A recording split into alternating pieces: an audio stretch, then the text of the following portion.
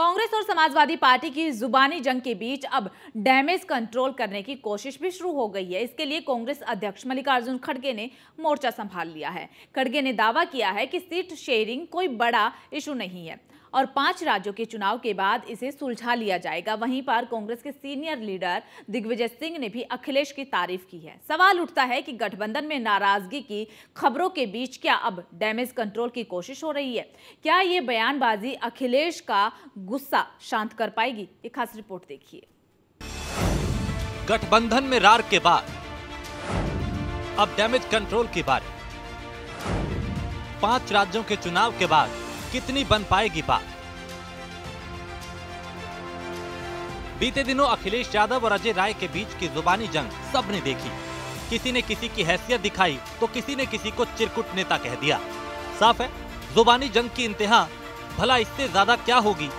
ऐसे में अगर विपक्षी एकता को कायम रखना है तो गठबंधन में तालमेल का फॉर्मूला तय करना ही होगा। वरना गठबंधन में जो गांठें दिख रही हैं, उसका टूटना भी तय है। फ़िलहाल ये मोर्चा संभाला है कांग्रेस अध्यक्ष मल्लिकार्जुन खड़गे ने, जिन्होंने दावा किया कि पाँच राज्यों के चुनाव के बाद सब कुछ ठीक कर लिया जाएगा। स्टेट का इलेक्शन जो चल रहा है, वो ठीक चल रहा है और हर जगह हमारे लोग काम कर रहे हैं और हमको कॉन्फिडेंस है कि हम फाइव स्टेट में ज़रूर जीतेंगे। दरअसल बयानबाजी की शुरुआत तब हुई जब यूपी कांग्रेस के अध्यक्ष अजय राय ने कुर्सी संभाली और पहली ही प्रेस ब्रीफिंग में दावा कर दिया कि कांग्रेस यूपी की सभी 80 सीटों पर चुनाव लड़ने के लिए तैयार है। जवाब में अखिलेश यादव ने कहा कि वो सीट मांग नहीं दे रहे हैं। अजय राय ने दोबारा 80 सीटों पर तैयारी की बात कही, जिसके बाद अखिलेश यादव भड़क गए। कई बार बयानबाजी के बाद अखिलेश ने अजय राय का नाम लिए बगैर चिरकुट नेता कह दिया।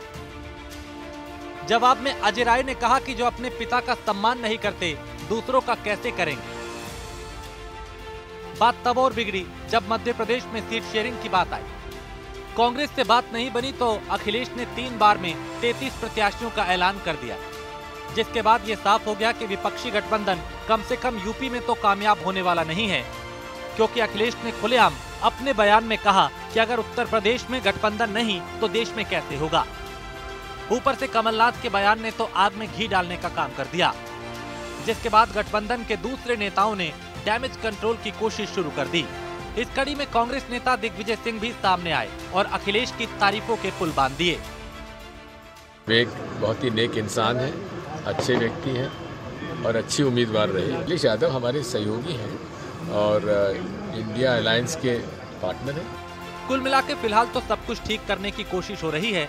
अखिलेश के सुर भी थोड़े नरम पड़ गए हैं।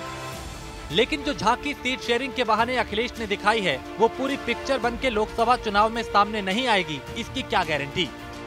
क्योंकि कम से कम यूपी में अखिलेश यादव कांग्रेस को ज़्यादा सीटें देने के मूड में बिल्कुल नहीं है। ऐसे में लोकसभा की यूपी की 80 सीटें राष्ट्रीय स्तर पे गठबंधन की गांठें खोल दे तो हैरानी नहीं होनी चाहिए। Bureau report, news one India.